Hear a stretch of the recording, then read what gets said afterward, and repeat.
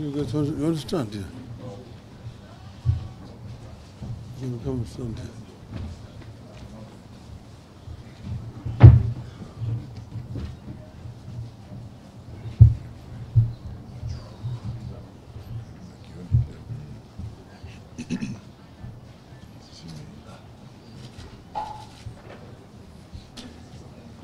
You ready?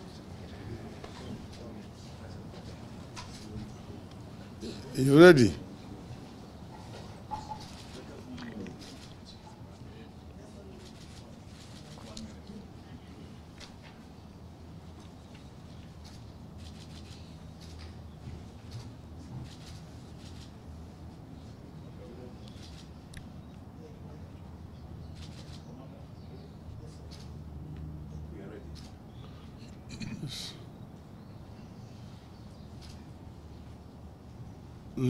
Gentlemen, good afternoon.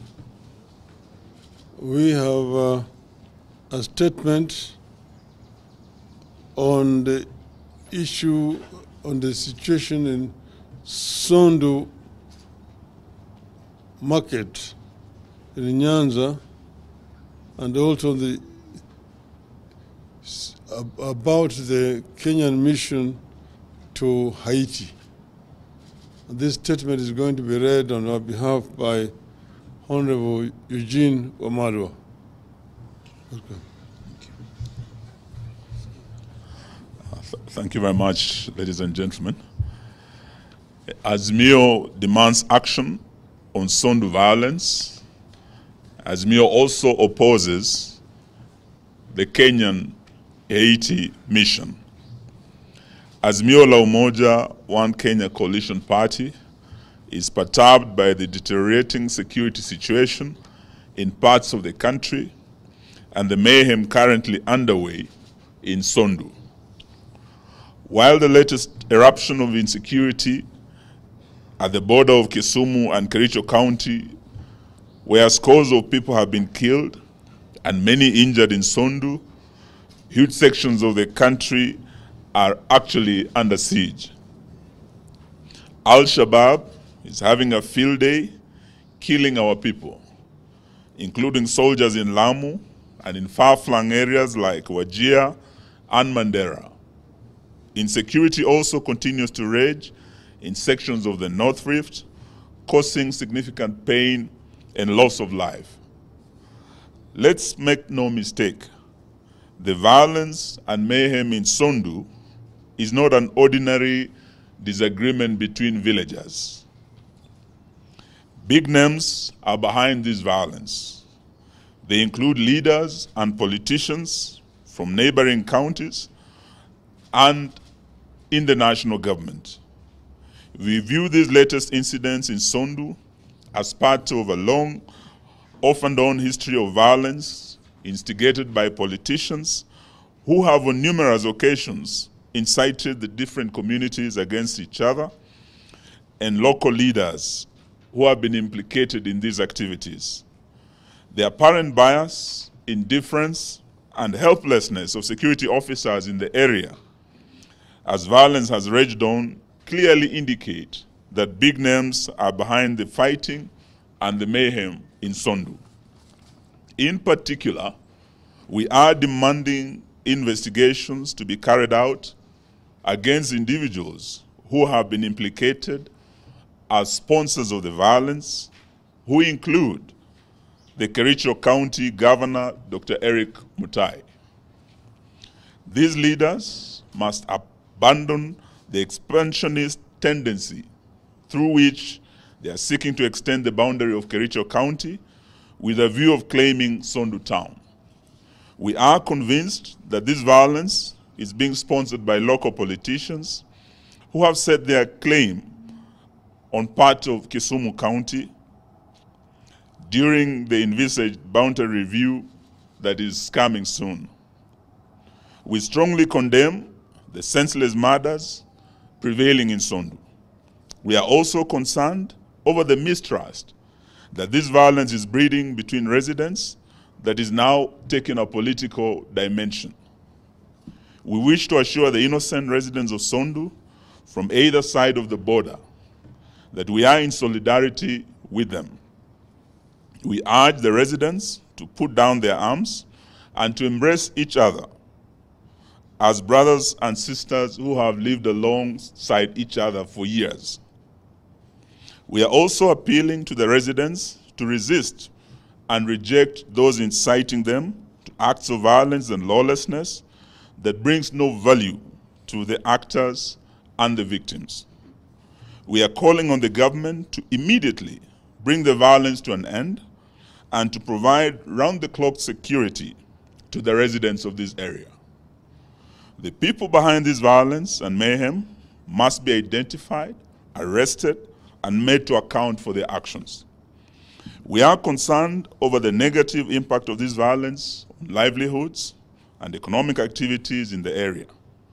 Consequently, we are asking the government to provide support to the families that have been affected by these violence. Such support should include footing the medical bills for those who have sought treatment and helping with burials of those who have lost their dear ones. Beyond Sondu, we are concerned over the increase in terrorist activities in parts of the coast, particularly Lamu, in northeastern. Just about two weeks ago, several KDF soldiers aboard a Kenya Air Force chopper died in a crash within the terror-prone Boni Forest in Lamu. We believe this was an Al-Shabaab attack. Attacks by Al-Shabaab militants have become commonplace in Mandera and other parts of northern Kenya, with victims being police officers, teachers, farmers, ordinary residents, going about their daily routines.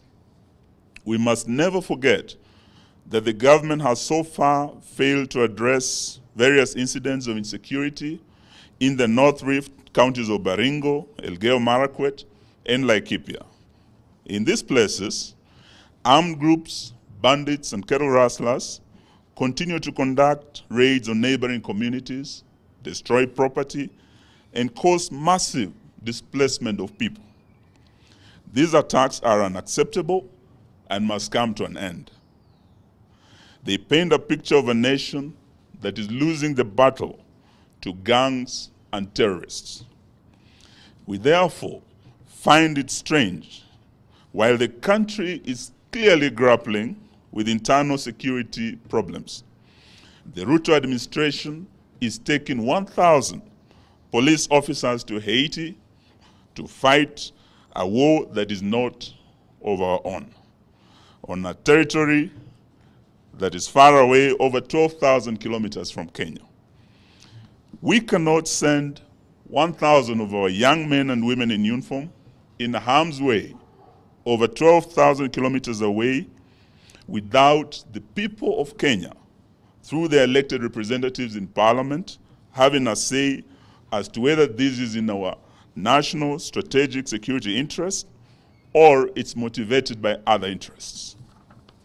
In this regard, we call upon Parliament to immediately summon the CS of Interior, now that his defense counterpart appeared before the Senate yesterday, and he actually ducked this question. He passed the buck to his Interior uh, counterpart.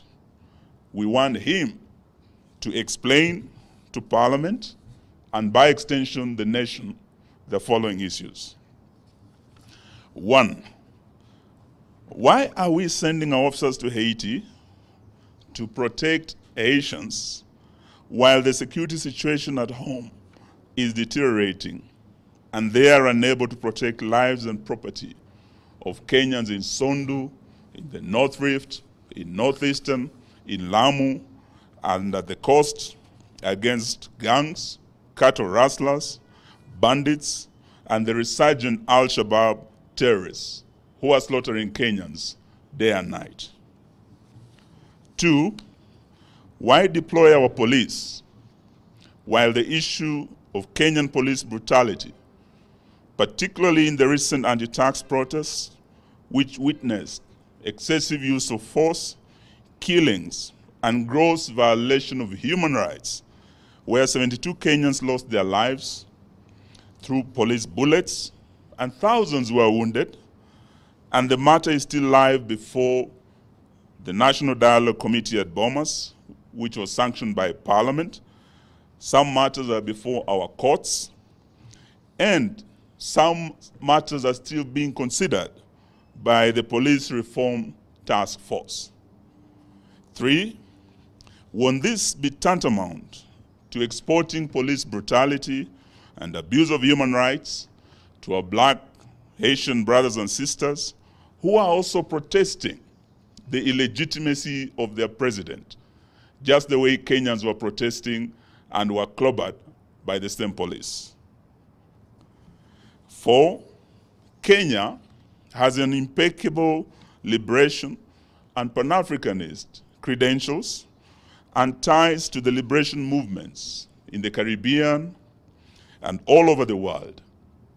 Wouldn't sending our officers to Haiti, not at the request of our black Haitian brothers and sisters, but at the request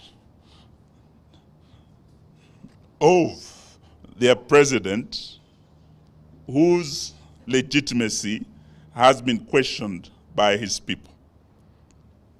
Would in sending officers to Haiti taint our Pan-Africanist ties to the Caribbean? Whose heroes, some of them when you walk on the streets of Nairobi, we have our roads named after them. Garvey, Du Bois, Makonnen, Padmore. All these were Caribbean leaders who, with our founding fathers, through the liberation movement, had ties.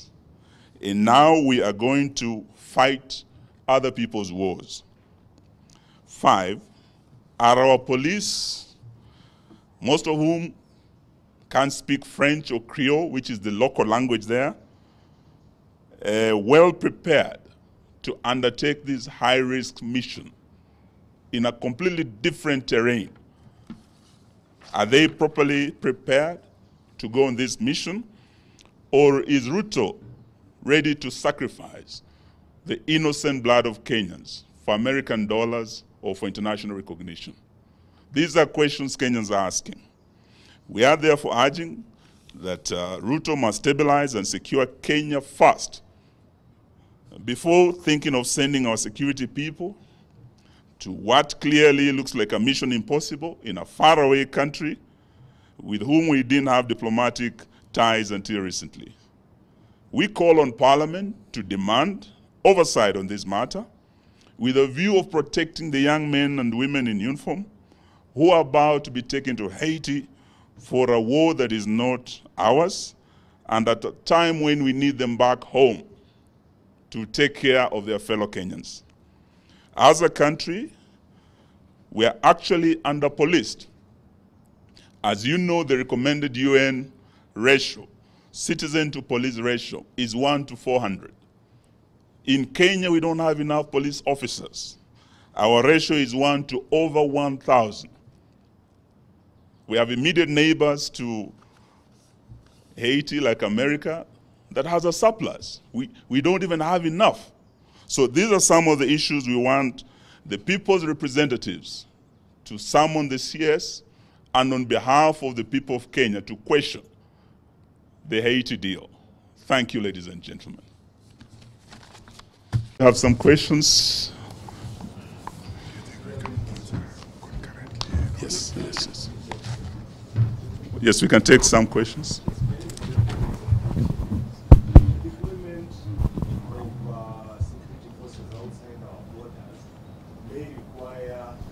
the parliament approval. Is it your position that your members in parliament will be opposing this when uh, it comes before the house?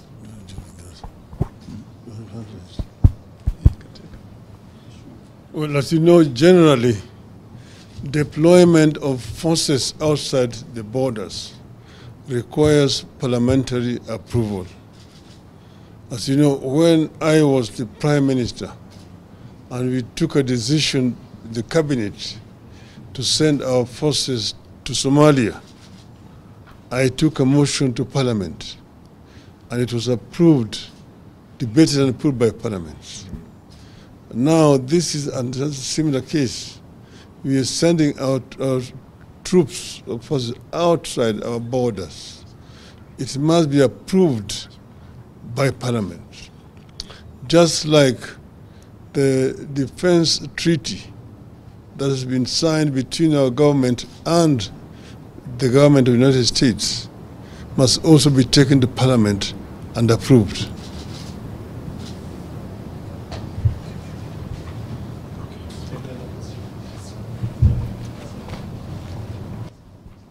Thank you so much, Seth Olale, Citizen TV.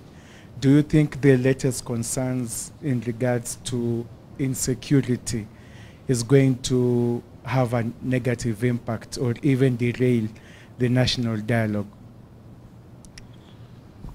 Well, the national, the insecurity in the country is a matter of great national concern to everybody.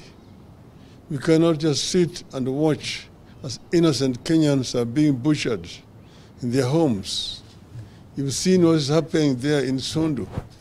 Houses being touched, people being burnt inside their homes. This is something that is horrible.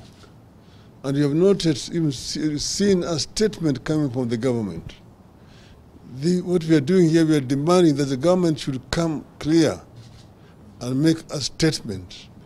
And even a minister in charge of internal security would have gone to the scene to go and see what is happening. The fact that they are all silent and business as usual tells you that there's something that they know that other Kenyans are, and, and don't know. This is, a, something that cannot be tolerated. Uh, the, the, the talks, of course, as you know, have now reached another stage where they are going to now uh, be debating the material that they have be before them. Um, so we would we don't want those talks to, to be affected by what is happening. But what we are doing is we are calling the government to action.